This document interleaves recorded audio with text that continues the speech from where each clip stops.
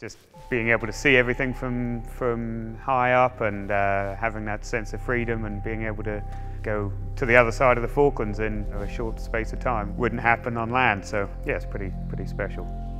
So I started my training in February of 2022. So it was 20, 21 months training, split fairly equally between Oxford in the UK and Spain. So it was pretty, uh, pretty intense. So the old brain got quite a workout at the start because uh, six to seven months of ground school to start with before you can get in a plane. So um, yeah, lots of uh, maths and physics and stuff which I hadn't done for 12 years or whatever. For the first time on my own, you're concentrating that much on getting everything right. As soon as I landed, uh, it was a very cool feeling. Yeah, first solo landing was yeah, I'll never never forget that. Since then, yeah, come back and probably about another year line training and stuff before I'm allowed solo with passengers.